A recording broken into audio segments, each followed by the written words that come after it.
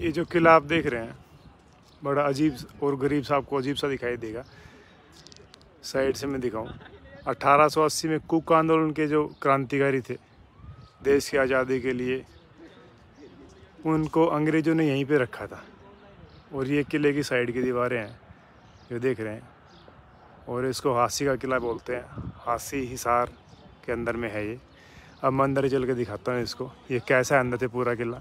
और इस किले का एक बहुत बड़ा इतिहास रहा है, अगर आप पढ़ेंगे हासी के किले के बारे में and you will come to know each and everything about it कि इसका क्या इतिहास रहा है। बहुत बड़ा किला इसे, एक ऐतिहासिक धरोहर माना जाएगा, जिसका बहुत बड़ा रोल रहा है। पृथ्वीराज चौहान से शुरुआत होती है इसकी, बारहवीं शताब्दी के अंदर, और फिर यहाँ पर आ गए थे मोहम्मद गोरी, और मोहम्मद गोरी के बाद यहाँ पर औरंगज़ेब भी आए, और औरंगज़ेब के बाद यहाँ पे आए थे। बाबा बंदा बहादुर भी आए थे। बाबा बंदा बहादुर सब यहाँ पे आए थे। ये देखो जी, किले के अंदर की जगह है खंडर हो चुका है, आठ सौ साल जो पुराना हो चुका है। मैं थोड़ा सा ऊपर चलता हूँ। देखो जी, ये साइड की दीवारों पे चलते हैं अपन।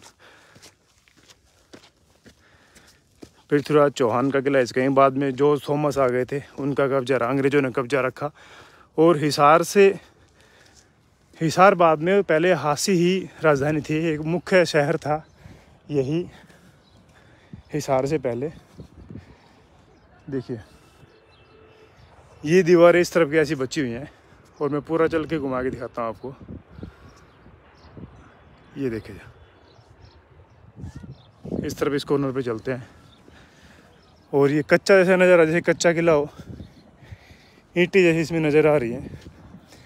गिरी हुई नीचे के अंदर।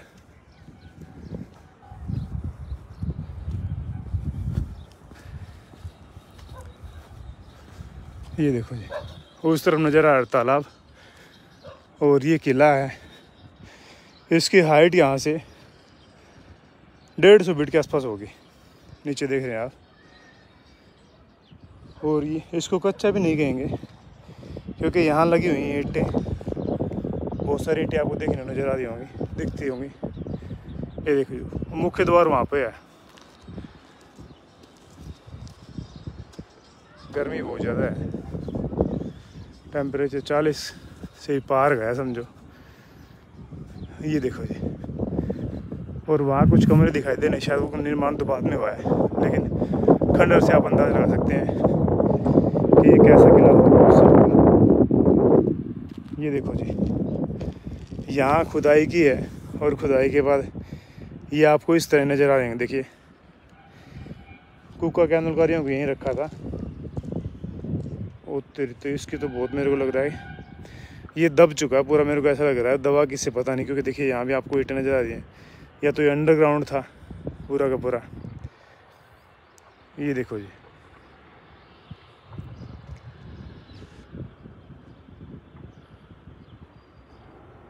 गजब है। आपको इसका इतिहास नहीं मिला, पृथ्वीराज चौहान मराठा तक यहाँ पे आए थे।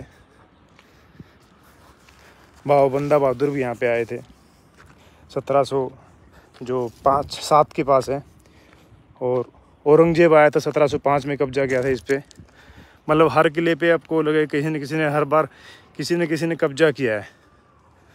कभी उसने कभी उसने ऐसे करके उनका हमेशा इतिहास ऐसा ही रहा है।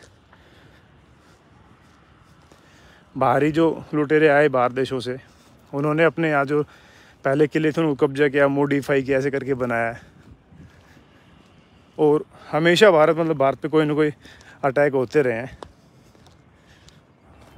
और ये देखो जी, इस तरह से यहाँ से भी खुदाई की गई इसकी।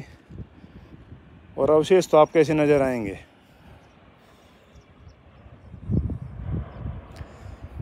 मतलब कुछ देखने को है नहीं कुछ भी। मेरे को तो लग नहीं रहा कुछ होगा, क्योंकि मैं पूरा देख के देखते हैं अभी। कैसा बना हुआ है ये। और ऐसे कहावत है कि खंडरों से पता लगता है कि इमारतें कभी बुलंद थे। तो ये खंडरों से आप पता लगता है कि सब कुछ खंडर हो गया है, लेकिन इमारतें कभी बुलंद थी। यू इवन कैन इमेजिन ये एक दीवार दिख रही है।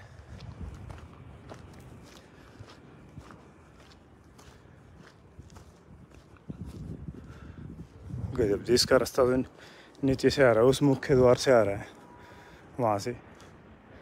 अब वो द्वार भी वहाँ भी दब गया है, उसको देखा जाए तो दबा हुआ है गेट, और ऊपर आने का रास्ता ही है पूरा।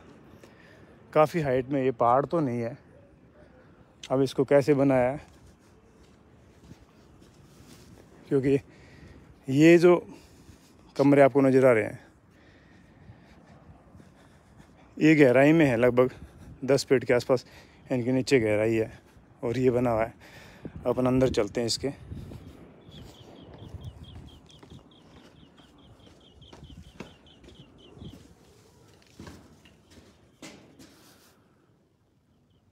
ये ऐसा बना हुआ अंदर से।